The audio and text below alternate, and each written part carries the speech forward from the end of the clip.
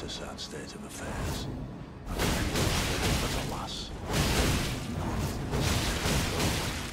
Marika has high hopes for us. We continue.